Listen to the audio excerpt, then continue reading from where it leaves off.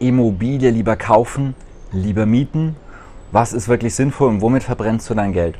Das sehen wir uns heute an den Faszinationen Freiheit, von dem her herzlich willkommen wie jeden Freitag, vielleicht auch heute zum ersten Mal und ganz neu. Herzlich willkommen.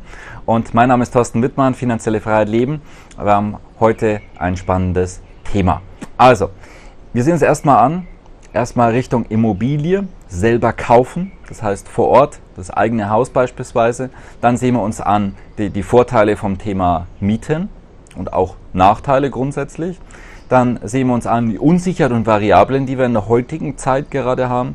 Dann sehen wir uns eine Faustregel an und auch meine persönliche Meinung zu diesem Thema, beziehungsweise auch wie ich persönliches handhabe. Also, starten wir mit der eigenen Immobilie, diese zu kaufen. Ja, und dann hat man sein eigenes Reich. Ne? Das finden viele Menschen natürlich toll. 100% verständlich auch die Sicherheit, das ist ein großer Punkt, die Planbarkeit. Ja, man hat langfristig einen tollen Ort, optimalerweise, so wird es hoffentlich dann sein, ähm, wo man einfach bleiben möchte, wo man sich wohlfühlt und wo man sich selber und seine Familie niederlassen kann. Also sehr, sehr gut verständlich, ist auch ein Traum von vielen Menschen, das Ganze zu verwirklichen.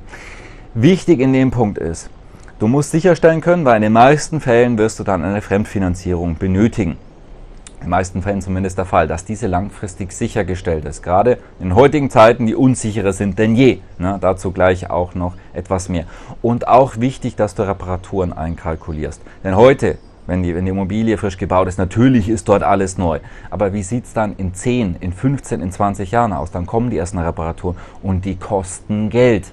Ja, und das ganze Geld muss irgendwo herkommen. Das heißt, wenn die Finanzierung bis auf Anschlag ist, hm, dann kann das Ganze sehr, sehr unangenehm werden. Also achte darauf, es sollte wirklich ausgewogen sein, auch nicht überdimensioniert. Das ist auch schon mal vorweggenommen, ein Teil vom Resümee, was wir uns am Schluss gemeinsam anschauen werden. Ich persönlich, das sage ich gleich vorweg, ich bin großer Fan davon, sich im Nachhinein die Belohnung zu besorgen und eben nicht vorweg. Das heißt, den Fokus darauf zu legen, okay, wie kann ich zehnmal mehr Geld verdienen? Wenn du vielleicht ganz neu in unserer Community bist, ja, wie soll das gehen? Dann stelle ich dir nur die Frage, gibt es jemanden in deiner Branche, der zehnmal mehr Geld verdient als du?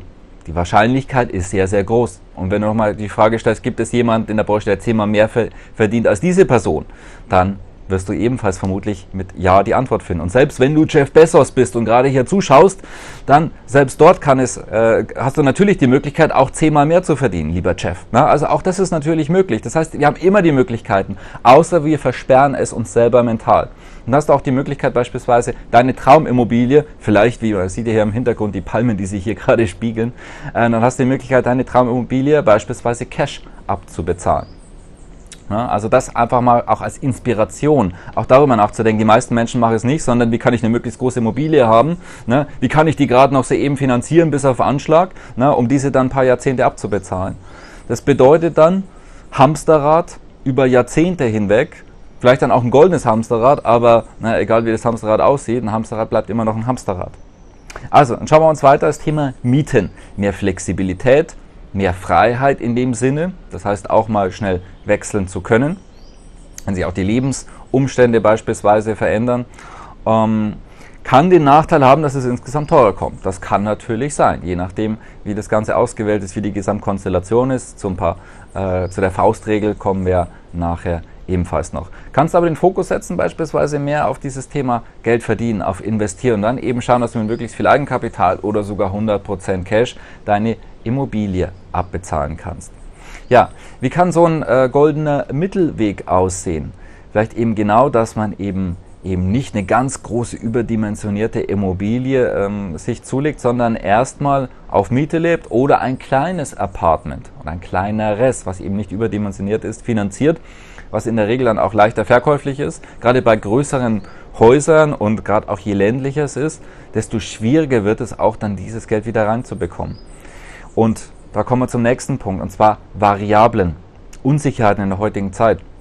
Ich denke, ich brauche dazu nichts sagen. Die Corona-Krise hat uns allen gezeigt, wie schnell sich das Leben von heute auf morgen verändern kann.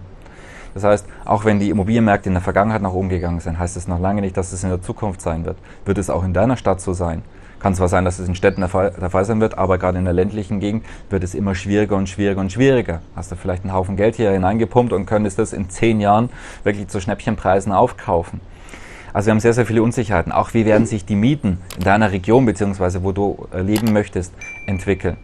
wie sind die Lebensverhältnisse allgemein. Ne? Wenn, wenn man sich ja, wenn man den Bund der Ehe schwört, glaubt man natürlich nicht, dass es jemals wieder auseinandergehen wird. Aber die Daten und Statistiken sagen sehr häufig was anderes. Das heißt, die Wahrscheinlichkeit, dass eine Scheidung stattfinden wird, irgendwann ist nicht ganz so gering. Also ist auf jeden Fall im Bereich des Möglichen. Also eine Garantie hat man leider nirgendwo.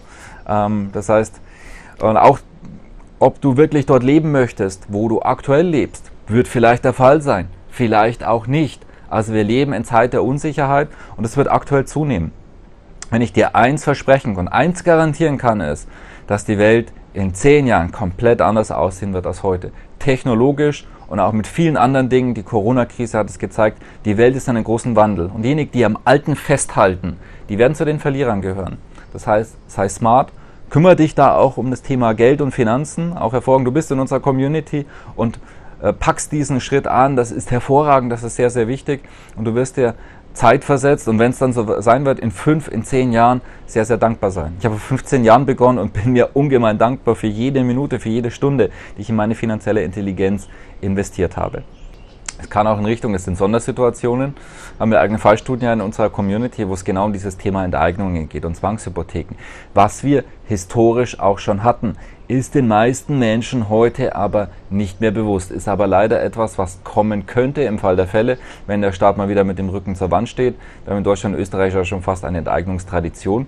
Das heißt, wo es auch Kreditgewinnabgaben gab. Das heißt, dass auch die Verschuldung quasi wieder aufgelebt. Das heißt, durch die Inflation der Währungsreform ist diese nicht vermindert worden und dass es eben auch schon Zwangshypotheken gab, die dann eben beim letzten Mal beim Lastenausgleichsgesetz dann über 30 Jahre quartalsmäßig abbezahlt werden mussten. Haben die meisten auch wieder vergessen, wird heute auch wenig diskutiert, ist aber etwas, was es schon gab. Das solltest du zumindest im Hintergrund haben. Immobilien, wie der Name sagt, sind immobil. Also, wie sieht das Ganze als Faustregel aus? Wenn der Kaufpreis 25 mal höher ist als die Jahreskaltmiete, dann tendenziell ist diese Immobilie sehr teuer, sehr, sehr weit oben.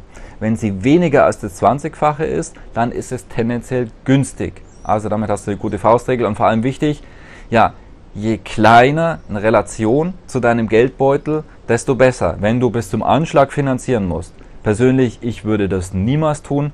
Ich persönlich habe mich auch erst um äh, das Thema Geld und Finanzen wirklich gekümmert, bevor ich mir selber eine Immobilie zugelegt habe und gekauft. Also, das sind meine persönlichen Erfahrungswerte und Tipps. Wir leben in einer Welt der großen Unsicherheit. Das heißt, du solltest sehr genau abwägen und im Fall der Fälle vielleicht etwas länger warten. Also ich hoffe, dieses Tippvideo hilft dir weiter. Ja, bitte teilen, ganz, ganz wichtig, dass mehr Menschen Zugang zu ähm, sehr, sehr gutem Finanzwissen haben kommentieren, liken, ebenfalls sehr, sehr wichtig. YouTube-Kanal abonnieren und trag dich unterhalb von dem Video mit dem Link ein, damit du keinen unserer Tippvideos verpasst, die es jeden Freitag frisch und neu gibt. Also, ganz liebe Grüße hier aus Brasilien. Bis nächsten Freitag. Herzlichst dein Thorsten Wittmann.